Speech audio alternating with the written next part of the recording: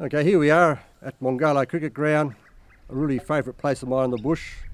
I love the bush and uh, I come out here to play. And I've got the didgeridoo bone here, and this is the uh, the Mongalo riff.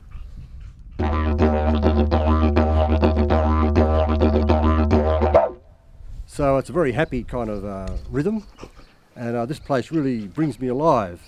And with the didgeridoo, I can do all these uh, tone changes. So in Mongalo, I go down to the sea.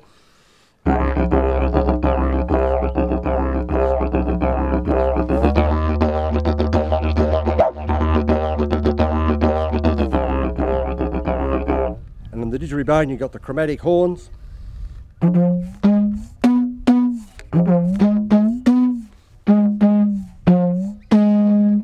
So that's the bone. And uh, this here is the face bass, this thing on my face here. And as I tap this, I get a, a, a snare sound, like with a scratch. And with it in my mouth, like so, I go, mm, mm, and that makes like a kick sound. So that combined with the scratch gives me the beat in the music. And that catches all those really low frequencies. And it's really great for um, vocals because you only need to make a very soft sound and it's quite loud and strong.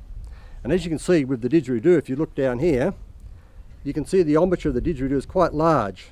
And what happens is that the resonance sounds, the sounds resonating inside the tube, resonate up through the tube, through the lips, because the embouchure is so big, the embouchure, that's this opening here. And the sound of the didge inside the mouth is quite complex. And I kind of like that a little bit more than the acoustic sound sometimes. And with this seismic sensor, I can do the whole thing live.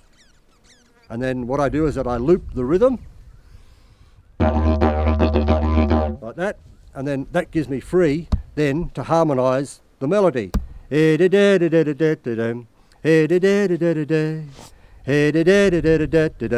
Hey, Mongalo she flows.